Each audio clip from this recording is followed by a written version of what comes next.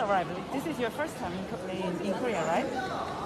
Yeah, first time in Korea, but um, you know, I've heard so much good things about it. My best friend is from Korea actually.